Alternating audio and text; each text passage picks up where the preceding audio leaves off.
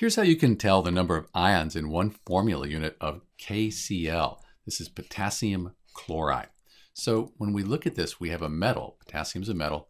Chlorine, that's a nonmetal. So metal and a nonmetal, that's going to be ionic.